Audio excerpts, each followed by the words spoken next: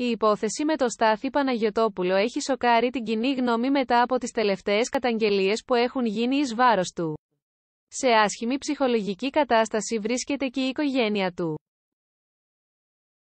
Μάλιστα, η πρώην σύντροφό του, της οποίας διέρευσε φωτογραφίες και βίντεο σε ιστοσελίδα πορνογραφικού περιεχομένου μίλησε στο κεντρικό δελτίο ειδήσεων του ΑΛΦΑ, H30χρονη μεταξύ άλλων ανέφερε χαρακτηριστικά πως δεν δέχεται τη συγνώμη του καθώς δεν τη θεωρεί ειλικρινής.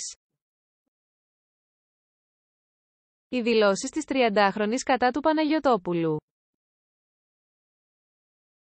Ήμουν σε πιο μικρή ηλικία και τον εμπιστευόμουν. Και μάλιστα, επειδή αγχωνόμουν μήπως διαρρεύσουν, εκείνος μου έλεγε να μην ανησυχώ γιατί τα περνάει από το κινητό στον υπολογιστή του. Με είδε μια γνωστή μου, με αναγνώρισε και επειδή της είχα αναφέρει ότι έχουμε τραβήξει κάποια βίντεο κατάλαβα ότι είμαι εγώ.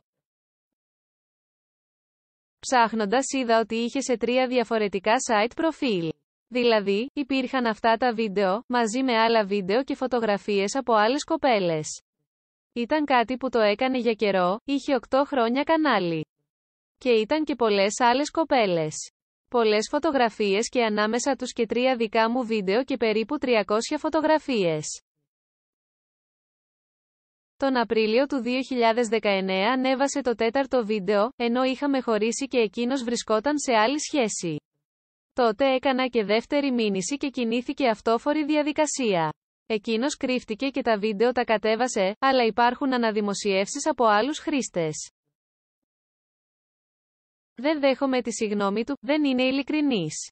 Του έδωσα πολλές ευκαιρίες να προσπαθήσει να επανορθώσει και εκείνος ανέβασε και άλλα βίντεο. Κάποια στιγμή μου μπήκαν σκέψεις για να δώσω τέλος στη ζωή μου.